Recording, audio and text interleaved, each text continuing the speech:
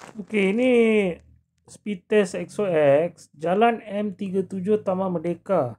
Kita buat lagi sekali ya. eh.